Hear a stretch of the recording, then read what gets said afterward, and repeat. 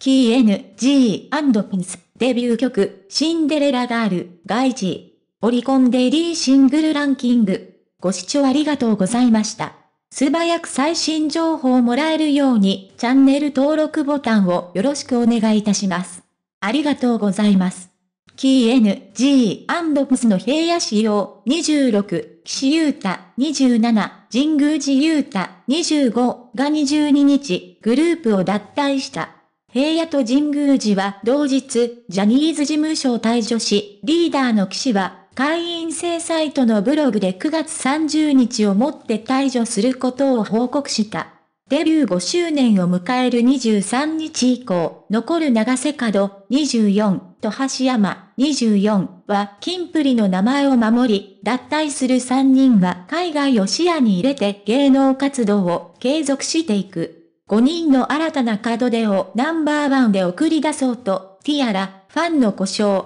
が一つになり、大きなプレゼントを届けた。デビュー曲、シンデレラガールが、この日発表されたオリコンデイリーシングルランキング21日付で3151枚を売り上げて1位を獲得した。昨年11月に3人の脱退が発表された後、シンデレラのミリオンセラーを達成しようとティアラの間では SNS に、追いデレラ、シンデレラガールをミリオンへ、といったハッシュタグをつけた購買運動が広がった。その回あって、5年前に発売された曲にもかかわらず、5月13日付のデイリーランキングでトップに。また182番人が登録するグループの公式 YouTube チャンネルの総再生数がこの日10億回を突破。同サイトのコミュニティ欄では、岩井 KP 公式チャンネル10億回、ティアラありがとう、と綴られた。放置新聞社。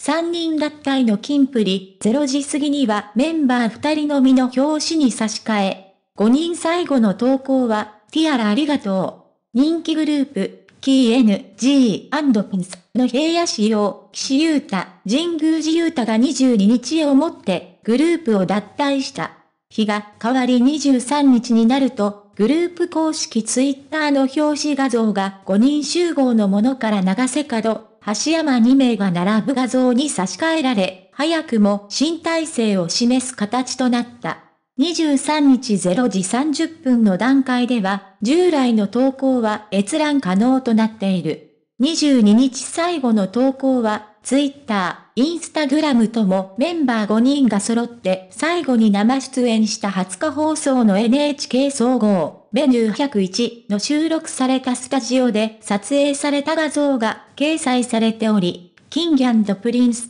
ティアラありがとうの言葉が添えられたツイッターの投稿には、投稿1時間強で早くも37万件を超える、いいね。2万件を超えるコメントが集まっている。放置新聞社。平野志陽さんプロフィール1997年1月29日生まれ、愛知県出身。圧倒的なセンスのダンススキルや歌声を持つ一方、チャーミングな発言とのギャップで多くのファンを魅了する。ご視聴ありがとうございました。